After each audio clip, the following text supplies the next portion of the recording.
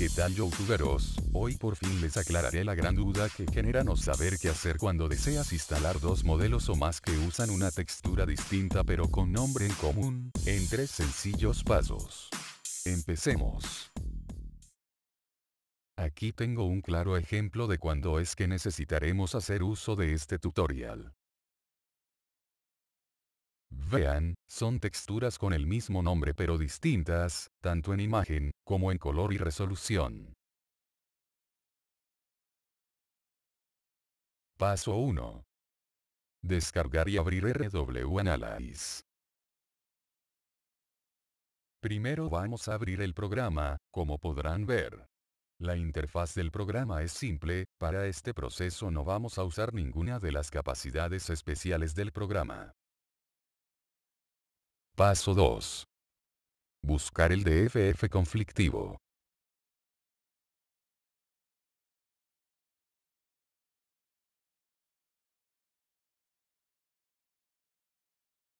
Abrimos el DFF e inmediatamente el programa te mostrará la lista de parámetros necesarios para el funcionamiento del modelo mismo. Paso 3. Modificar los strings. ¿Qué son los strings? Los strings son cadenas de datos que almacenan textos. Bien. Una vez en el programa pulsaremos CTRL más F. Seleccionaremos el 0x02. Y le damos a OK. Esta acción nos enviará al primer string.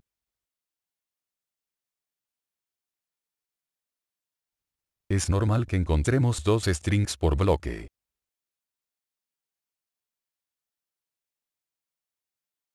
Un ejemplo de bloque es esto. Desde textura hasta extensión. El primer string es para el nombre de la, o las, texturas sin alfa. El segundo es para el nombre de la textura con alfa, si la textura no es alfa es necesario dejar el segundo espacio en blanco. Si la textura sí, es alfa ambos strings deberán llenarse. Ahora buscaré el nombre de la textura que deseo cambiar. Pero antes pulsaré F4, esta acción me mostrará la lista de texturas requeridas por el DFF. En este caso es la llamada, Generic Glass Window 2.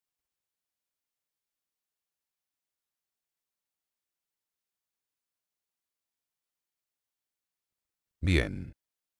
Ya que este string no contiene el nombre de la textura que deseo cambiar, buscaré el string que sí lo contenga. Pulsando F3. El programa me mostrará la siguiente sección de acuerdo a la sección en la que actualmente se ubica el cursor. Es decir, si el cursor se encuentra en un string al pulsar F3, el programa me enviará al siguiente string.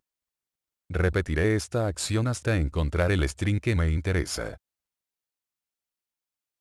Muy bien. Aquí está, ahora lo modificaré a mi gusto, usando esta regla. Nombre de usuario. Para que la gente sepa quién hizo la reedición, más algún número. Esto último para darle un nombre único.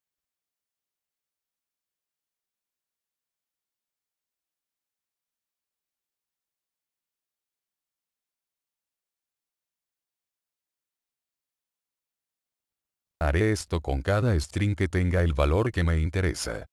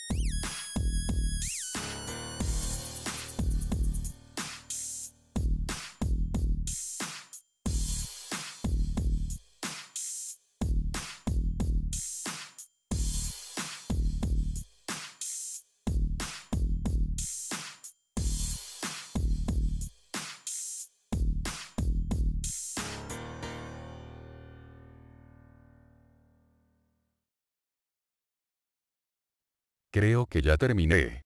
Ahora para comprobar que haya terminado con el conflicto, pulsaré de nuevo F4. Si en la lista ya no se encuentra la textura conflictiva, el problema está resuelto. Pero si sigue apareciendo tendrás que hacer el proceso de nuevo hasta eliminar todas las igualdades.